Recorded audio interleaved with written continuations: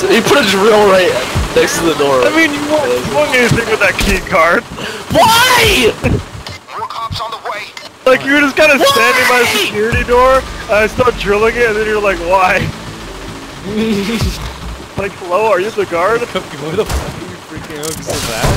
Why did you shoot the guard? I was handcuffing him. What guard? The guard you shot. I didn't shoot anyone!